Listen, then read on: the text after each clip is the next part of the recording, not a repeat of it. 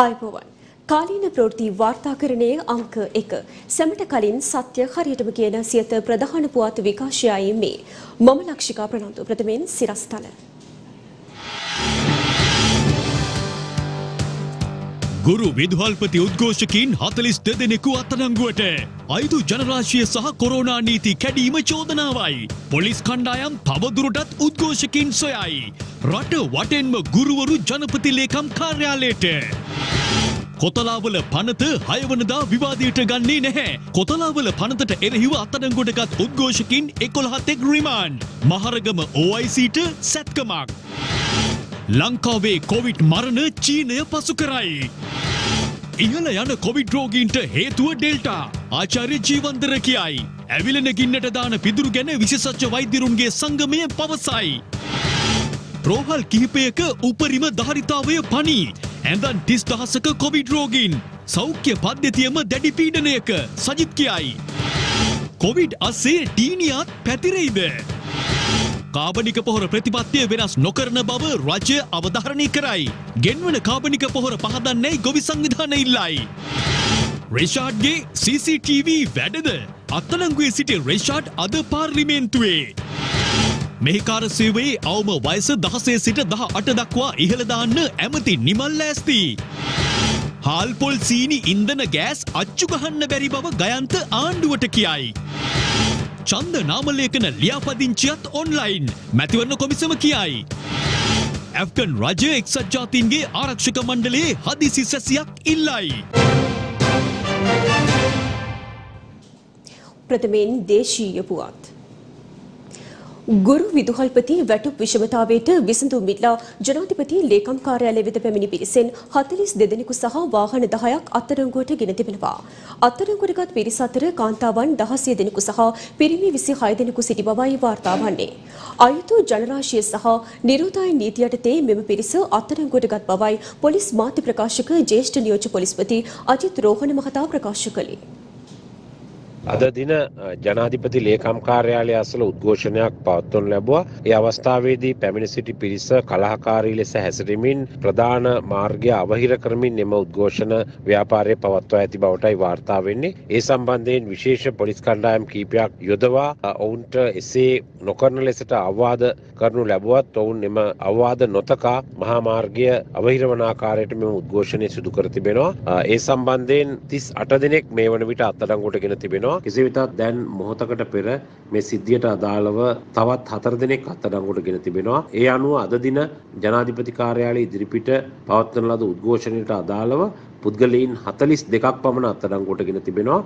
මේ අතර පිරිමි පුද්ගලයින් 26ක් සහ කාන්තාවන් 16 දෙනෙක් වෙනවා. මේ අත්අඩංගුවටගත් පිරිස ප්‍රකාශ සටහන් කිරීමෙන් අනතුරුව අධිකරණය වෙත ඉදිරිපත් කිරීමෙන් නියමිතව තිබෙනවා. ගුරු වැටුප් විෂමතා උද්ඝෝෂණයට අදට දින විසිහතරයි. ගුරු විදුහල්පති වැටුප් ගැටලුවට වසර විස්සයි. පසුගිය සති තුන පුරා පැවැත් වූ සියලු සාකච්ඡා අසාර්ථක වුණා. ඊට අග්‍රාමාත්‍යවරයා සමග පැවති සාකච්ඡාවද ඇතුළත්. රජයේ පාර්ශවයෙන් ගැටලුවට විසඳුම් දීමට අයවැතෙක් ඉවසන ලෙස ඉල්ලා සිටිනවා. නමුත් ගුරු විදුහල්පති සංගම් පවසන්නේ මෙය විසඳුම් නොදී කල්මැරීමට ගන්නා පියවරක් බවයි. ඒ අනුව දිවයිනේ ප්‍රදේශ හතරකින් අද ගුරු විදුහල්පති සංගම් රථ පෙළපාලි වලින් ජනාධිපති ලේකම් කාර්යාලයට පැමිණියා. වැලිසරින් කඩවතින් කොට්ටාවෙන් සහ මොරටුවෙන් රථ පෙළපාලි ආරම්භ වුණා. මේ නිසා මේ සියලු ප්‍රධාන මාර්ගවල බරපතල රථවාහන තදබදයක්ද ඇති වුණා. ජනාධිපති ලේකම් කාර්යාලය වෙත පැමිණි මෙම දැවැන්ත ගුරු උද්ඝෝෂණය නතර වූයේ ජනාධිපති ලේකම් කාර්යාලයේ අතිරේක ලේකම්වරයෙක් ළඟයි.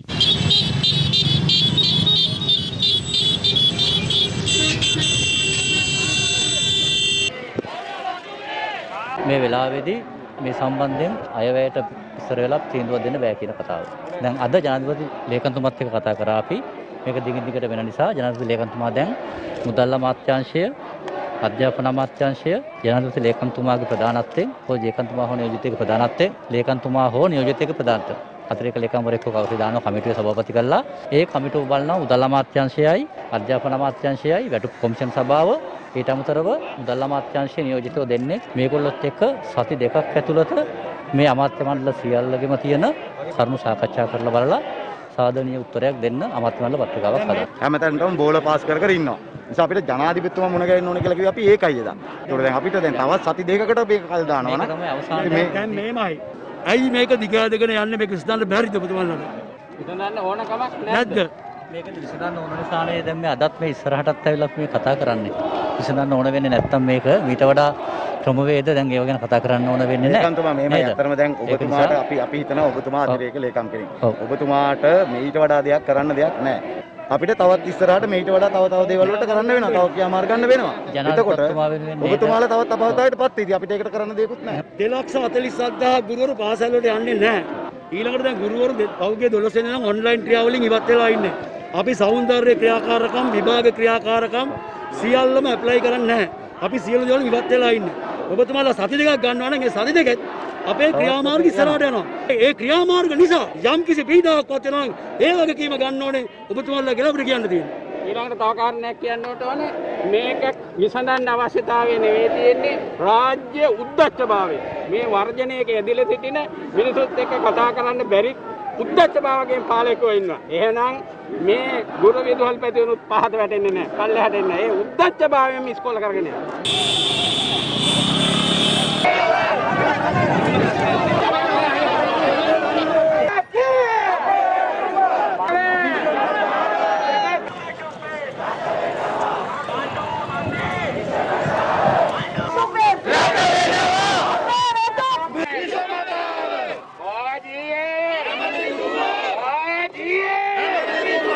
ලබන සතියේ අපිට අනිවාර්ය විසඳුමක් ඕනේ. එහෙම නැති වුණොත් අපි අනිවාර්ය ක්‍රියාමාර්ගයට යනවායි කියන පණිවිඩය දෙන්නයි අපි ආවේ. ආණ්ඩුවට රැවුලයි කැඳයි දෙකම බේරගන්න බෑ. දැන් අපේ ප්‍රශ්නයට විසඳුමක් දෙන්න ඕනේ. අනිත් ඔක්කොම පාස් කරගන්න පුළුවන්. අපේ ප්‍රශ්න විසඳන්න විතරක් අය වෙනකන් ඉන්න ඕන.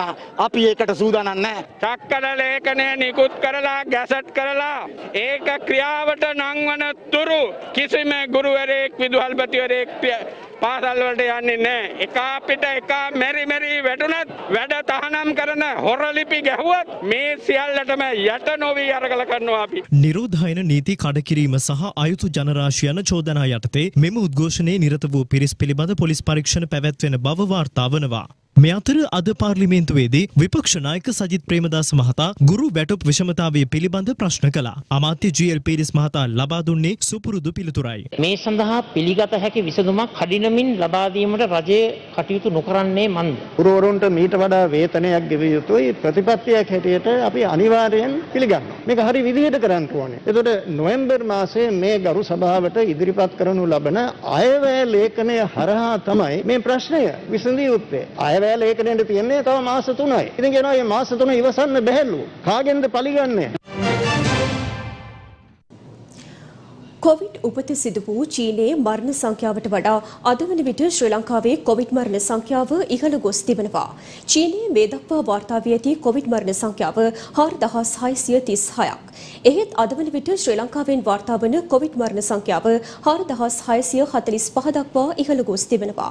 ඩෙල්ටා ඇතුළු කොවිඩ් ප්‍රභේද සම්බන්ධ පරීක්ෂණ සාම්පල් 94 ප්‍රතිඵල සෞඛ්‍ය අමාත්‍යාංශයට සෙනසුරාදා බහර දෙන බව ආචාර්ය චන්දිම ජීවන්දන මහතා සියතට ප්‍රකාශ කළා. වේගින් ඉහළ යන කොවිඩ් ආසාදනයට හේතුව ඩෙල්ටා වෛරසය බව මූලික පරීක්ෂණ වලින් අනාවරණය වී ඇතැයි ආචාර්ය චන්දිම ජීවන්දන මහතා පෙන්වා දෙනවා.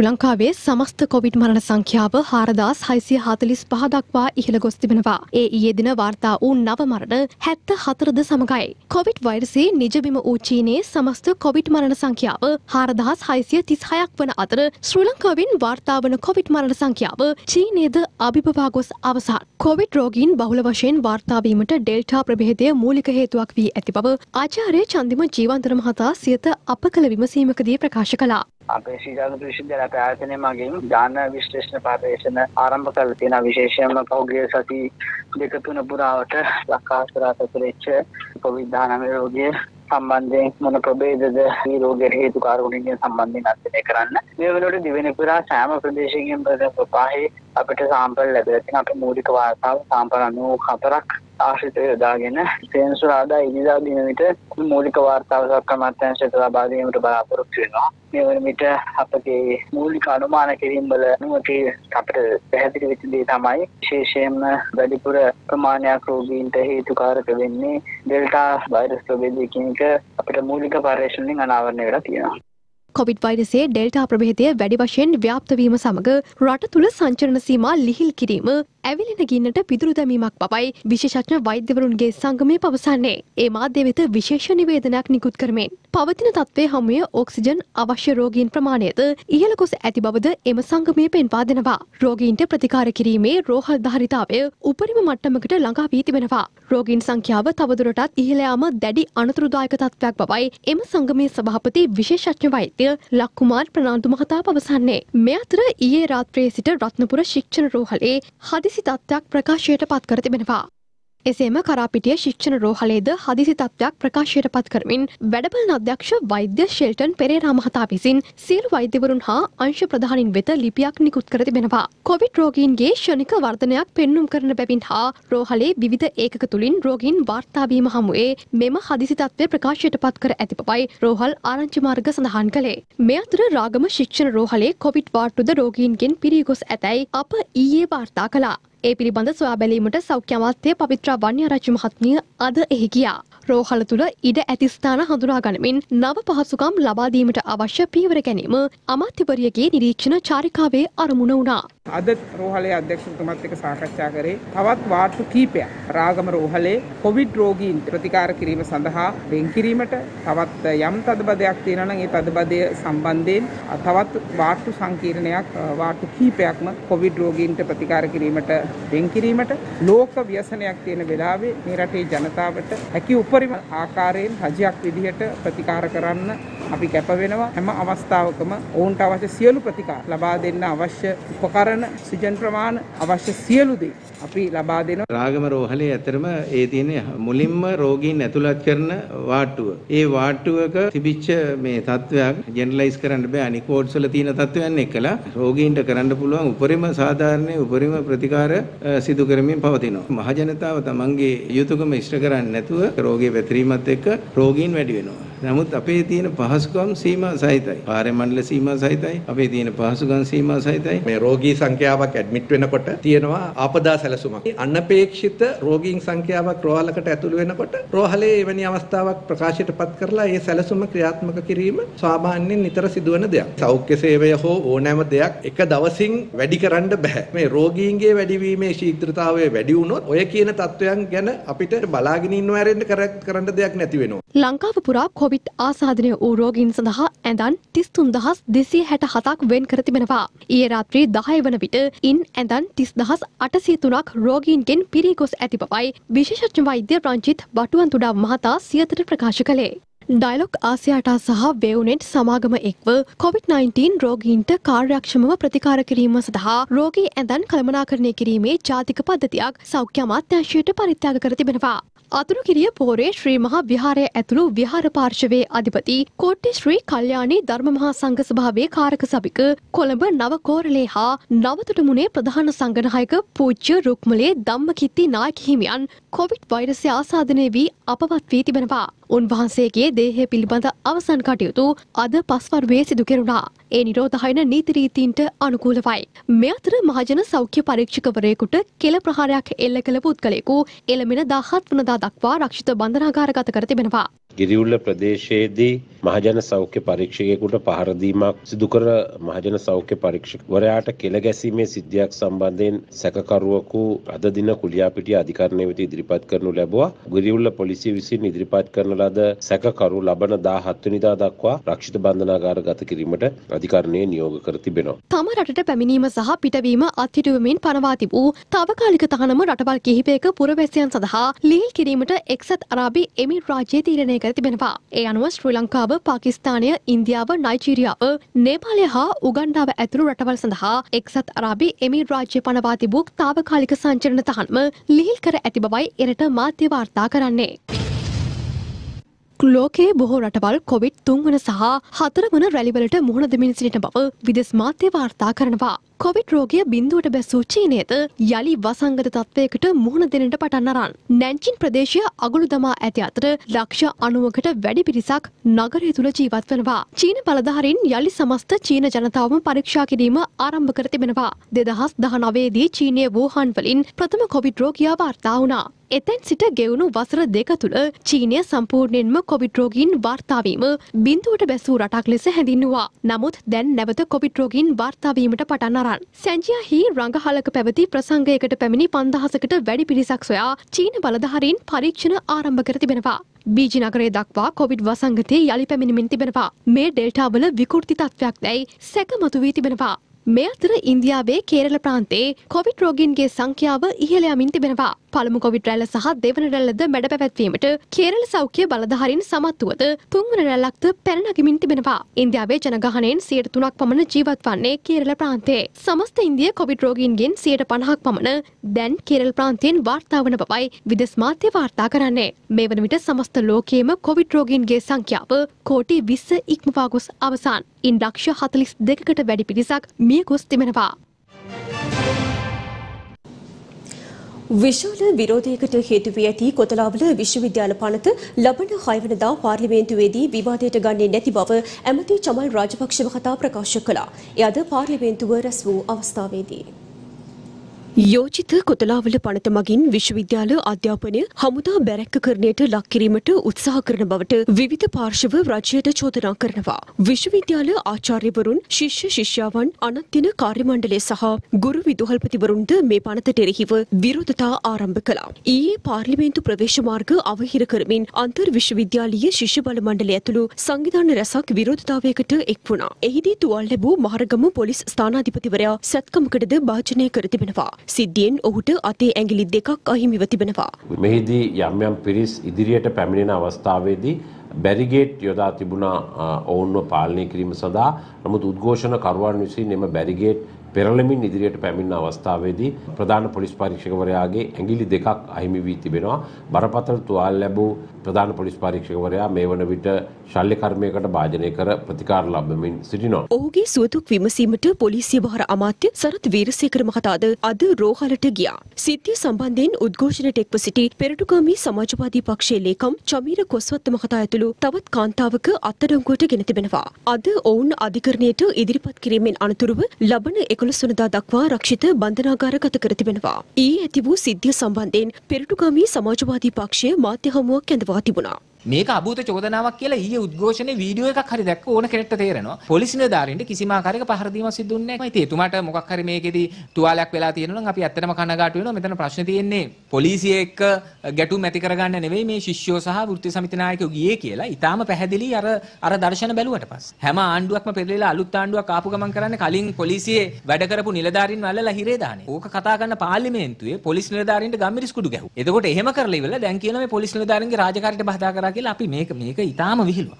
මේක නීතිය ක්‍රියාවේද වීමක් නෙවෙයි මේ කරන්න යන්නේ පලි ගැනීම. ඊයේ සිදුවීම බලද්දි අපිට මතක් වෙන්නේ අර ජොන්ස්ටන් ප්‍රනාන්දු මහත්තයාගේ කාත්තට්ටේ උදාහරණ. එයා කිව්වනේ එක කපුටෙක් මරලා තට්ට එල්ලුවා නම් ආය අනික් කපුට එන්නේ නැහැ කියලා. ඒක තමයි මේ පෙනෙමින් තියෙන්නේ. කොතලාවල විශ්වවිද්‍යාල පනත ලබන හයවනදා තෙවනවර කියවීමට නියමිතව තිබුණා. නමුත් අමාත්‍ය චමල් රාජපක්ෂ මහතා අද පාර්ලිමේන්තුවේදී ප්‍රකාශ කළේ පනත හයවනදා විවාදයට ගන්නේ නැති බවයි. සිකුරාදා අර විශ්වවිද්‍යාල පනත වාද කරනවද නැද්ද කියලා. තවදුරටත් මන්ත්‍රීවරුන්ට සහ රටේ ජනතාවට අදහස් ප්‍රකාශ කරන්නට අවශ්‍යයි කියලා මම විශ්වාස කරන නිසා මම එදාට ඒක ඉදිරිපත් කරන්න තව කල් අරගෙන හරි. බොහොම ස්තුතියි. මම ඔබතුමාට යෝජනා කරනවා මේ පනත සම්පූර්ණයෙන්ම හකුලාගෙන අලුත් විදිහට මුලින් ඉඳලම පටන් අරගෙන සියලුම පාර්ශ්වයන් සමග සාකච්ඡා කරලා නිදහස් අධ්‍යාපනය ආරක්ෂා කරන ඉදිරි පියවර ගන්නයි කියලා මම ඉල්ලීමක් කරනවා. මේ අතර සභානායක අමාත්‍ය දිනේෂ් ගුණවර්ධන මහතා ප්‍රකාශ කළේ කොතලාවල පනත පාර්ලිමේන්තුවේ විවාද කිරීම සඳහා කල් අවශ්‍ය වන බවයි. මේ අතර කොතලාවල පනතට එරෙහිව අදත් දිවයිනේ ප්‍රදේශ කිහිපයක විරෝධතා සංවිධාන කර තිබුණා.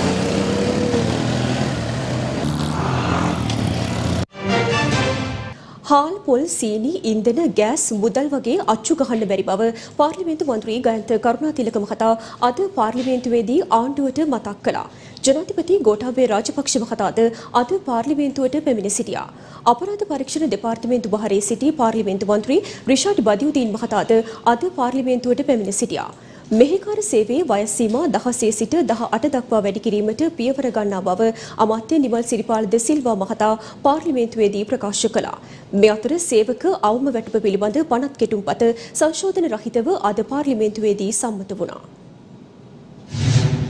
අපේ රටේ බලශක්ති ශේත්‍ර විශාල පංගුවක් ඇමරිකන් සමාගම වෙත පැවරීම සඳහා දිත්තුපුර වැසියන් කැබිනට් පත්‍රිකා ඉදිරිපත් කරන තත්ත්වයක් තමයි තිබෙන්නේ. පසුගිය ජනාධිපතිවරණයේ මහමැතිවරණයේදී තමුන්නාසල් ලැබුණු ප්‍රධානම ජරමරමක් තිබුණා වංචාව දූෂණය නතර කරනවා කියලා. හැබැයි එසේ තිබියදී එම ජනාධිපතිතුමා නියෝජනය කරන කැබිනට් මණ්ඩලයම ජාත්‍යන්තර වශයෙන් ටෙන්ඩර් කැඳවීමක් කර තිබියදී එම ටෙන්ඩරේ මුළුමනින්ම අවලංගු කොට ඇමරිකානු සමාගමකට මෙම ඉදිකිරීම පවරා දෙන දෙන යටතේ නාස්තියක් නැද්ද දූෂණයක් නැද්ද ඇස්කන් පේන සීබුද්ධියෙන් කටයුතු කර ඕන කෙනෙකුට තේරෙනවා මේක ඇතුලේ යටි මණ්ඩි ගනුදෙනුවක් තිබෙන බව. කිසිසේත්ම ටෙන්ඩර් අවලංකර නොමැති අතර ඉතා සාර්ථක ටෙන්ඩර් ඇගීමක් මේ වන විට සිදුවෙමින් පවතී. ජාතික විදුලි බල උත්පාදන හිමිකම් පවරා දීමක් කිසිසේත්ම සිදු නොවනු ඇත. නමුත් බහුතර කොටස් දේශීය ආයෝජකයන් සතුව පවතින බැවින් මෙය ජාතික ආරක්ෂාව අවදානමකට ඇද්දමන පියවරක් ලෙස සැලකිය යුතු නොවේ. රටේ සමස්ත බලශක්තිය අයිතිය ඇමරිකානු හෝ වෙනත් කිසිදු විදේශීය සමාගමකට නොපරන බව අවධාරණය කරමි.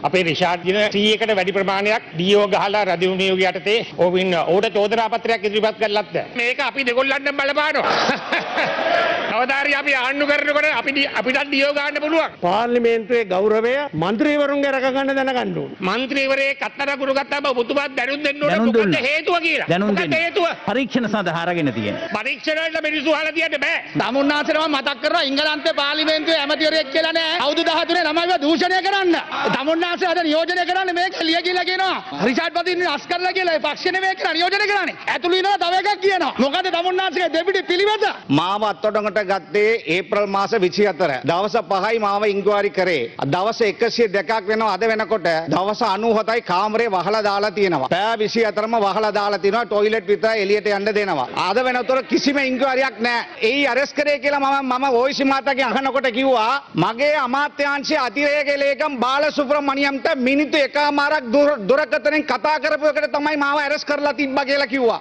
බාලසුබ්‍රමණියන් කොහෙද ඉන්නේ කියලා අහන්න? බාලසුබ්‍රියන් රට බැනලා මේ අතර සේවකින්ගේ ජාතික අවම වේතන සංශෝධන පනත් කෙටුම්පත විවාදයට ගැනීමද අද පාර්ලිමේන්තුවේදී සිදු වුණා. ආසන්න අවුරුදු හයක් පෞද්ගලිකාන්සේ සේවකයන්ගේ අවම වැටුප වැඩි කරලා නෑ. ගෘහස්ත සේවකයින් මේ අය පිළිබඳව නීතියක් අපේ රටේ නෑ. අන්තරාදායක රැකියා ලැයිස්තුවට ගෘහස්ත සේවකයින් ඇතුළත් කරලා ඒ ගැසට් පත්‍රය අ, මුද්‍රණය කිරීමට අවශ්‍ය අවසරය පාර්ලිමේන්තුවේ ලබා ගැනීම සඳහා මම අද ඒක බාර දීලා තියෙනවා. අපිට අවුරුදු 16 වයස 18 දක්වා අපිට වැඩි කරන්න පුළුවන්කම එයින් ලැබෙනවා. මේ රටට අභාග්‍ය උදා කරපු සෞභාග්‍ය දැක්මේ සුරංගනා කතා ගොඩක් තියෙනවා. ඒක එක තැනක මෙන්න මෙහෙම තියෙනවා. ඒ සහ පෞද්ගලිකංශයේ සේවකීන්ට රැකියා අහිමි වන අවස්ථාවකදී නැවත රැකියාවක් සොයාගන්නා තෙක් මාසික දීමනා රක්ෂණ ක්‍රමයක් හඳුන්වා දෙනු ලැබේ කියලා. රට පුරා ලක්ෂ සංඛ්‍යාත පිරිසක් පෞද්ගලිකංශයේ රැකියා අහිමි වෙලා තිබෙනවා. දැන් මේ මිනිස්සුන්ට තියෙන්නේ Tamanගේ ඉහට Tamanගේ අත විතරයි. රක්ෂණ ක්‍රමයේ තියෙන්නේ මේ පොතේ විතරයි. වැටුප් විෂමතා කඩිනමින් ඉවත් කිරීම ගැන පොරොන්දු දීලා තියෙනවා. ඒවා විසඳපු හැටි මේ දවස්වල පාරට බැස්සාම හොඳට පේනවා. ආණ්ඩුවට ඕන තරම් සල්ලි තියෙනවයි කියලා කියන ඇමතිවරුන්ට තේරෙන්නේ නැහැ. හාල් පොල් බිත්තර සීනි පරිප්පු ඉන්ධන ගෑස් මේවා අච්චු ගහන්න බැරි බව.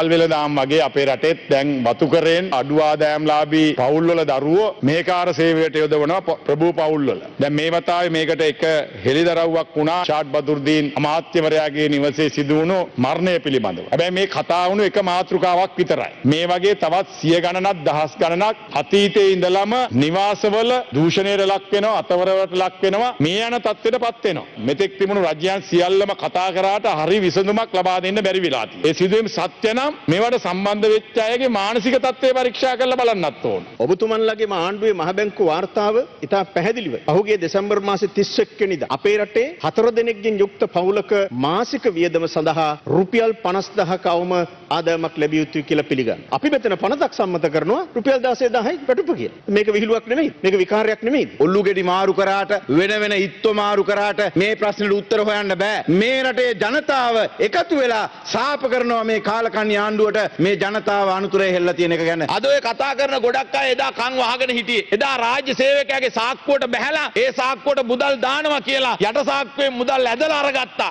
පහුගේ ආණ්ඩුව වතු කම්කරුව වෙනුවෙන් හරියට කටයුතු කළා නම් අර අවුරුදු 13 14 දරුවන්ට කොළඹ සේවයට එන්න වෙන්නේ නැහැ. අපි ජනතාවගේ ආදායම වැඩි කරලා මිලදී ගැනීම හැකියාව වැඩි කරලා තියෙන තමයි මහින්ද රාජපක්ෂ මහත්තයා හැබැයි දැන් සැපද කියලා. මම අහනවා එතුමාගෙන් දැන් තමුන්නාන්සට ඒ කියාපු ප්‍රකාශය පිළිබඳව ලැජ්ජ හිතෙන්නේ නැද්ද? මේ රටේ ඉන්න පාලකයෝ ටික රටත් කාලා ඉවරයි ජනතාව කෑම කාලත් ඉවරයි. සිප්කිරි පෙව් මූසලෙන් රජ මැදුරේ අපේ ගුරුතුමා අද තාමත් මහපාරේ. කාබනික පොහොර භාවිතය පිළිබඳ රාජ්‍ය ප්‍රතිපත්තියේ කිසිදු වෙනසක් නැති බව රජය අවධාරණය කරනවා. ජනාධිපති මාධ්‍යංශය නිවේදනයක් නිකුත් කරමින් පවසන්නේ රසායනික පොහොර ආනයනය කිරීමට කිසිදු අවසරයක් ලබා දී නැති බවයි. සංකටක කිහිපයක් අඩංගු පොහොර ආනයනය සඳහා අවසර ලබා දෙමින් නිකුත් කරන ලද ගැසට් නිවේදනයක් සම්බන්ධයෙන් ඊයේ දින සිට සමාජයේ දැඩි කතාබහක් යළිත් නිර්මාණය වුණා. ඊයේ දින පාර්ලිමේන්තු විපක්ෂයේ මන්ත්‍රීවරුන් චෝදනා කර සිටියේ කාබනික පොහොර ගෙන්වන බවට මුවා වී රසායනික පොහොර ගෙන්වීමට රජය කටයුතු කරන බවත් රජය ඒ සඳහා තමන් විසින්ම නිකුත් කරන ලද ගැසට් පත්‍රය රිවස් කර ගැනීමක් සිදු කර ඇති බවටයි. කෙසේ වෙතත් ආනයන අපනයන පාලන දෙපාර්තමේන්තුවෙන් අප කළ විමසීමකදී එහි නිලධාරීන් අවධාරණය කර සිටියේ රසායනික පොහොර ගෙන්වීමට කිසිදු අවසරයක් ලබා දී නොමැති බවයි. අද සියලුම ජාතික පුවත්පත්වලත් ප්‍රධාන සිරස්තලයක් බවට පත්ව තිබුණේ මෙම ගැසට් පත්‍රය පිළිබඳවයි. මෙම ගැසට් පත්‍රය සම්බන්ධයෙන්ද දැඩි ආන්දෝලනාත්මක තත්ත්වයක් රට තුළ උද්ගත වෙද්දී එම ගැසට් පත්‍රය පිළිබඳව ජනතා විමුක්ති පෙරමුණ සහ ගොවි සංවිධාන දැක්වූයේ මෙවන් අදහසක්. ආණ්ඩුව කිව්වේ රිවර්ස් කරන්නේ නැහැ. ගත්ත තීන්දුව ආපස්සට අකුලන්නේ නැහැ. දැන් ආණ්ඩුවට සිද්ධ වෙලා තියෙනවා හොර රහසේ යටින් යටින් ටිකින් ටික දැන් ආපහු රසායනික පොහොර වලට මාරු වෙන්නේ. එහෙනම් දැන් අපිට පේනවා ආණ්ඩුව ඒ සඳහා අවසරය දීලා තියෙනවා. ජනාධිපතියට දැන් කට ඇරලා කියන්න ඕනේ මොකද්ද මේ කරන්නේ කියලා. උත්තරයක් හොයන්න උත්තරයක් දෙන්න නැත්තම් මේට වැඩිය අර්බුදයකට රටේ කුෂිකර්මාන්තේ පත් වෙනවා, ගොවියා පත් වෙනවා, රට පත් වෙන එක වළක්වන්න බෑ. ආණ්ඩුව නැවත පොහොර ගෙන්නන්න ආයි තක්කලේට නිකුත් කරනවා. ඒ පොහොර රසායන පොහොර නෙමෙයි කියලා කියනවා. හැබැයි ඒවා කාබනික පොහොරක් නෙමෙයි. මේ පොහොර ඇත්තටම මොනවද කියලා ආණ්ඩුව පැහැදිලි කරන්න ඕන. මේ ගෙන්නන්නේ අනිත් පැත්තෙන් තවත් ක්‍රමයකට රසායන පොහොර. කරුණාකරලා කොන්ද කෙලින් තියාගෙන තමුන්ට ඩොලර් ප්‍රශ්නයක් තියෙනවා නම් මේක ඇත්ත කියන්න. එතකොට මේක ජනතාව ඉවසයි. පැහැදිලි ඇත්ත නිර්වුල් ප්‍රකාශයක් ආණ්ඩුව කරන්න ඕන. අද පස්වරුවේ මේ පිළිබඳව දක්වමින් ජනාධිපති මාධ්‍යංශයේද නිවේදනයක් නිකුත් කර තිබෙනවා. එම නිවේදනය දැක්වෙන්නේ දේශීය කෘෂිකර්මය සඳහා රසායනික පොහොර ආනයනය කිරීමට කිසිදු අවසරයක් ලබා දී නැති බවයි. දේශීය කෘෂිකර්මාන්තය සඳහා කාබනික පොහොර පමණක්ම භාවිතා කළ යුතු බවට ජනාධිපතිවරයා විසින් ගන්නා ලද ප්‍රතිපත්තිමය තීරණයේ කිසිදු වෙනස්කමක් සිදුකොට නැති බවද ඉදිරියේදීද එම තීරණයේ කිසිදු වෙනසක් සිදු නොකරන බවද රජය අවධාරණය කරන බවයි ජනාධිපති මාධ්‍යංශය නිකුත් කළ නිවේදනයේ දැක්වෙන්නේ. මීට අමතරව නයිට්‍රජන් නිස්සාරණ කාබනික හා කනිජ ගණයේ පොටෑසියම් ආනයනය කළ හැකි අතර ඒවා රසායනික පොහොර ලෙස වර්ග නොකෙරෙන බවත් ජනාධිපති මාධ්‍යංශයෙන් නිකුත් කළ නිවේදනයේ වැඩිදුරටත් දැක්වෙනවා. ඉශාලිනිගේ දෙවන මරණ පරීක්ෂණ වාර්තාව සකස් කරමින් පවතින බව වාර්තා වනවා. රිෂාඩ් බදියුදීන්ගේ නිවසේ CCTV තොරතුරුද පරීක්ෂා කර අවසන් බවයි පොලිසිය පවසන්නේ. ඉදිරි දින කිහිපය ඇතුළත එම වාර්තාව අධිකරණයට ලබා දෙන බවයි පරීක්ෂණ කණ්ඩායම ප්‍රකාශ කරන්නේ. ඉශාලිනිගේ දෙමව්පියන් ඇතුළු ඥාතීන්ට මාධ්‍යට තොරතුරු ලබා දෙන්න එපායයි විවිධ පාර්ශවවලින් බලපෑම් ඇතැයිද වාර්තා වනවා. රිෂාඩ් නිවසේ සිටියදී මියගිය ඉශාලිනී දැරියගේ මරණය පිළිබඳව මෙවන විට දැඩි කතාබහක් නිර්මාණය වී තිබෙනවා. ඇය නවාතන්ගෙන සිටි කාමරයේ බිත්තිය කළියූ වැකියක් සම්බන්ධයෙන්ද පරීක්ෂණ ආරම්භ කිරීමටයි පොලිසිය කටයුතු කර ඇත්තේ. අදාළ වැකිය සටහන් වූයේ මාගේ මරණයට හේතුව යන්නයි. මේ පිළිබඳව අප ඊයේ දින අපගේ ප්‍රධාන ප්‍රවෘත්ති විකාශය තුළින්ද රටට අනාවරණය කළා. දැරියගේ සහෝදරයා ප්‍රකාශ කළේ ඇයට ඉංග්‍රීසි භාෂාව පිළිබඳව දැනුමක් නොමැති බවයි. ඒ අනුව මේ පිළිබඳව සැකයක් මතු වී තිබෙන්නේ මෙය ඉශාලිනී විසින්ම ලියන ලද්දක්ද. නැත්නම් පරීක්ෂණ වාර්තා කණපිට පෙරලීමට අදෘශ්‍යමාන හස්තයක බලපෑමක්ද. මෙය තවත් ගැටලුවක් නිර්මාණය කර අවසන්. එවැනි වූ පසුබිමක ඇගේ පවුලේ ඥාති ට කිසිදු තොරතුරක් මාධ්‍යයට ලබා නොදෙන ලෙස විවිධ පාර්ශවවලින් බලපෑම් සිදුවන බවට අපට වාර්තා වුණා. එම උපදෙස් ලබා දී ඇත්තේ පරීක්ෂණ සිදු කරන විශේෂ පොලිස් කණ්ඩායම් විසින්ට නැත්නම් වෙනත් බලපෑම් කණ්ඩායමක්ද යන්න සැබෑවටම අනාවරණය කර ගත යුතුව තිබෙනවා. මේ අතර පාස්කු ප්‍රහාරයට අදාළව අපරාධ පරීක්ෂණ දෙපාර්තමේන්තුව භාරයේ සිටින රිෂාඩ් බදෝදීන් අද පාර්ලිමේන්තුවට පැමිණියා. දැරියගේ මරණයට අදාළව බදෝදීන්ගේ නිවසේ CCTV පරීක්ෂණ මේ වන විට අවසන් කර තිබෙනවා. CCTV වැඩ කළාද නැද්ද මරණයට අදාළ දෑ හෙළි කරන තොරතුරු අනාවරණය කරගත්තාද නැද්ද යන්න හෙළිදරව් කිරීම පොලිසිය ප්‍රතික්ෂේප කළා. මේ අතර ඉශාලිනීට සාධාරණ ඉටු කර දෙන ලෙස ඉල්ලා උද්ඝෝෂණ සංවිධාන කර තිබුණා.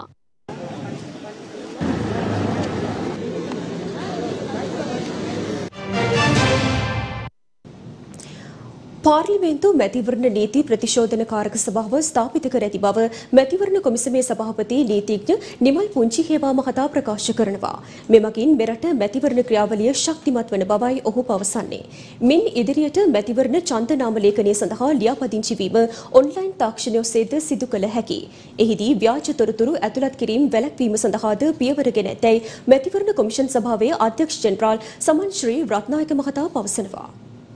අත්‍යවශ්‍ය සේවාවල යෙදෙන බොහෝ පිරිස් සෞඛ්‍යංශය පවා ජනමාධ්‍යවේදීන්ට පවා විදේශගත සංක්‍රමණික සමයකයන් ඡන්දය ප්‍රකාශ කිරීමේ අවස්ථාව ලැබෙන්නේ නැහැ. මැතිවරණ ක්‍රියාවලිය තුළ සමබිමක් නැහැ. මේවා වෙනස් කළ යුතුය කියන කාරණයට මෙතන කොමිසම සභාව කල්පනා කරා. දැන් අපි කතා කරාට වැඩන්නේ වෙනස් කරන්න ව්‍යවස්ථාදායක විසින් නීති සම්පාදනය කරන්න ඕන. ඒ සඳහා පාර්ලිමේන්තු මැතිවරණ නීති ප්‍රතිශෝධන කාරක සභාවක් පත් කරන්න අපි උත්සාහ කරා. අපිට සතුටුයි කියන්න ඒක දැන් පළදරලා තියෙනවා. ඒතර ඒක තුළ මේ කියන සියලු දෙනාම ඇතුළත් කර ගැනීම, සමබිමක්කේම මේ අධි විශාල මුදල් නාස්තිය නතර කර ගැනීම, කාන්තා නියෝජනය, තරුණ නියෝජනය ශක්තිමත් කිරීම මේ ආදී ඒ සියලු කාරණා පිළිබඳව මේ නීති ප්‍රශෝධන පාර්ලිමේන්තු කාර්ය සභාව හරහා ඒක ඉටු කරගන්න. දෙවැනි කාරණේ තමයි කොමිසම සභාව දැක්. අද අපි ආරම්භ කරනවා මාර්ගගත ක්‍රමයේ යටතේ ලියාපදිංචි වීමේ ක්‍රියාවලිය. එතකොට මෙතෙක් අර ගියල් ගාන ගිහිල්ලා ඒ තොරතුරු අරගෙන ලියාපදිංචි කිරීමේ ක්‍රියාවලිය වෙනුවට ඕනම කෙනෙකුට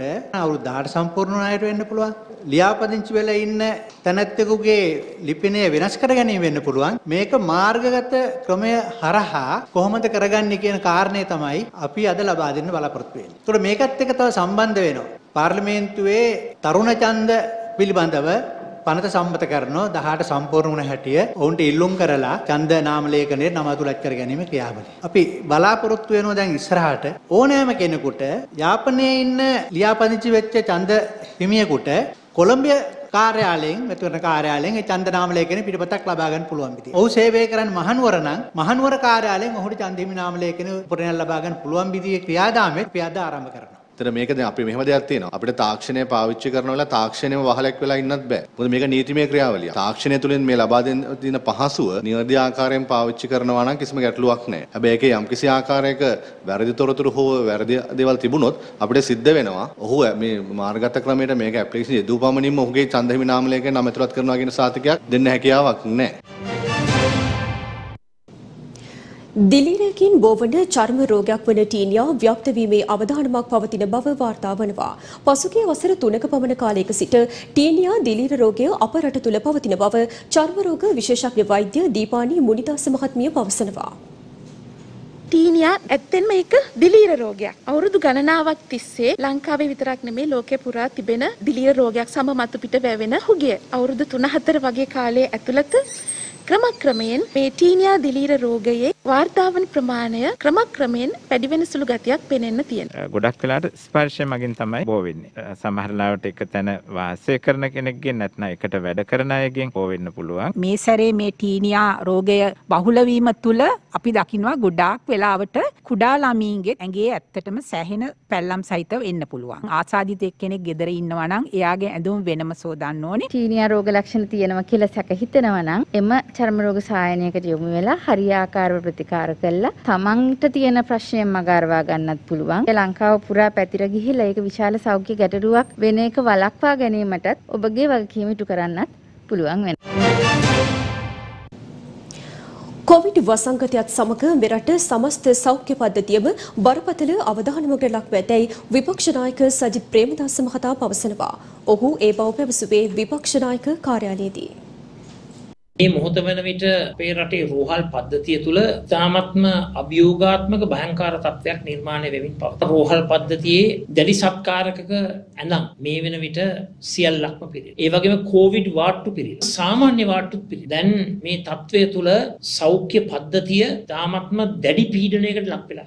සෞඛ්‍ය කාර්ය මණ්ඩල දැඩි අසහනයකට පත් වෙලා. මේ කාලය තුළ සිදුවිය යුත්තේ ඩෙල්ටා වේරියන්ට් එකක් හරහා නිර්මාණය වුණයි කියන මේ රැල්ල කොහොම කොහොම හරි නතර කරන්න. විශේෂයෙන්ම මම මතක් කරන්නට ඕන විවිධ වෛද්‍ය සංගම්, විවිධ වෛද්‍ය විශේෂඥ බොහොම පැහැදිලිව කියලා කියන මේ తත්වය මගහරවන්නට ඉක්මම් පීවර ගත යුතුයි කියලා. Association of Medical Specialists අනතුරු හැඟවීමක් කරලා තියෙනවා. తත්වය හොඳ නැහැ. తත්වය බරපතලයි. ඔක්සිජන් වල හිඟයක් ඇතිවන්නට ඉඩ තියෙනවා. ඒ වගේම ඔක්සිජන් ලබා දීමේ ක්‍රමවේදයන් වලත් ඒ උපකරණ වලත් හිඟයක් තිබෙනවායි. මේ తත්වය තුල රජය හිතන්නට ඕන. මේ රටේ මරණ සංඛ්‍යාව වැඩි වෙන මොහොතේ ආසාදිතින් සංඛ්‍යාව ඉහළට යන මොහොතක පනවා තිබෙන නීති රීති රෙගුලාසි ඉවත් කරනවාද එහෙම නැතුව මේ රැල්ල මැඩ පවත්වනකම් ශක්තිමත් රෙගුලාසි දමලා කෝවිඩ් ව්‍යාප්තිය අවම කරන්නට කටයුතු කරනවා කියන කාරණා.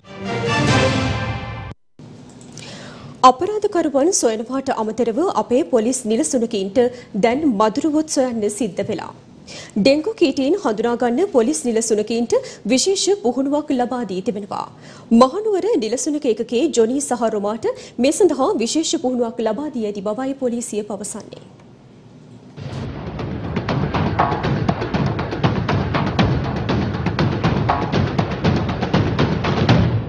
නිර්තදික මෝසම සක්‍රිය වීමත් සමග මේ වන විට රටපුරා ප්‍රදේශ රැසකින් ඩෙංගු රෝගීන් වාර්තා වීම ඉහළ යමින් පවතිනවා. ඒ අතරින් බස්නාහිර පළාතට අයත් කොළඹ ගම්පහ සහ කළුතර යන දිස්ත්‍රික්කවලින් ඩෙංගු රෝගීන් වාර්තා වීම ඉහළ ගොස් ඇති බවයි වාර්තා වන්නේ.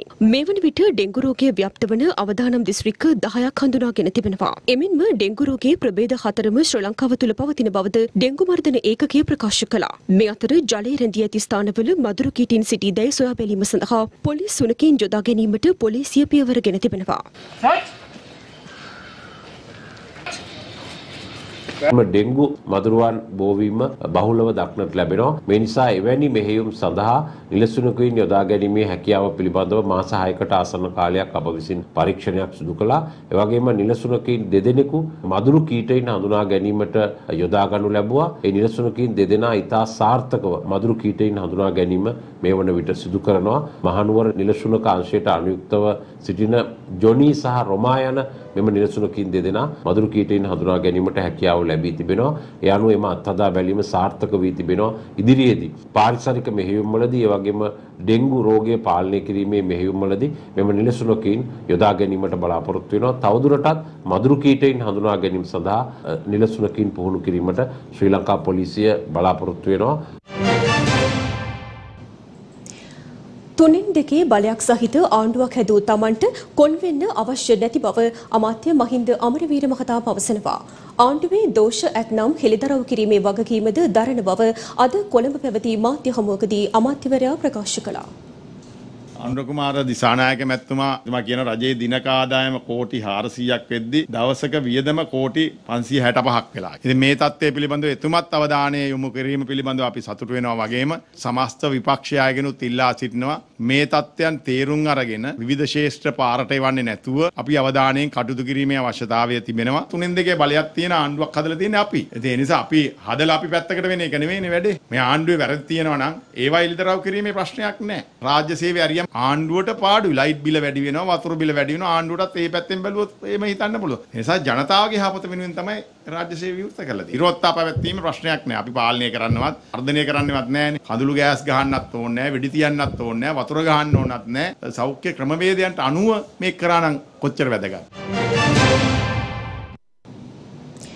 හිටපු නාවික හමුදාපති වසන්ත කරන්නාගොඩ මහතාට එරෙහි චෝදනා ඉදිරියට පවත්වාගෙන යන්නේ නැති බව නීතිපතිවරයා අද අධිකරණයට දැනුම් දුන්නා. ඔහුට එරෙහිව එල්ල වී තිබූ චෝදනාව වන්නේ තරුණයින් 11 දෙනෙක් පැහැරගෙන ගොස් අතුරුදන් කිරීමයි. වසන්ත කරන්නාගොඩ මහතා මෙම නඩුවේ 14 වන විත්තිකරුයි.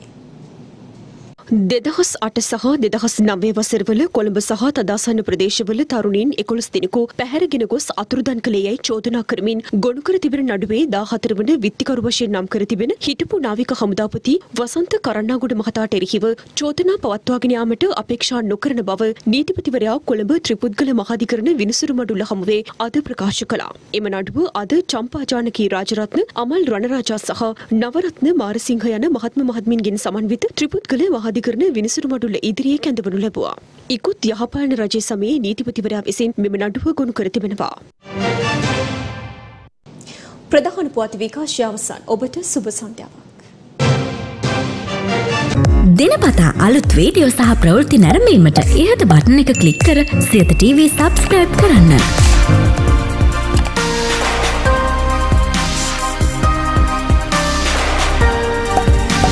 වීඩියෝ ගැන මුලින්ම දැනගන්න මෙම සීනුව කලික් කරන්න.